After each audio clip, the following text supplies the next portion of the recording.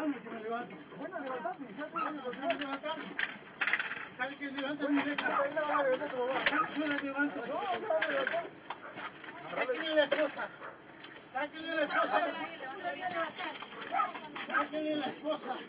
Así no puedo levantarme.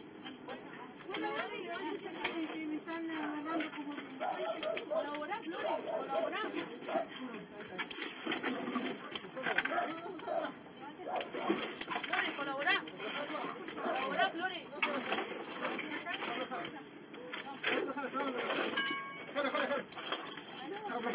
No, atrás.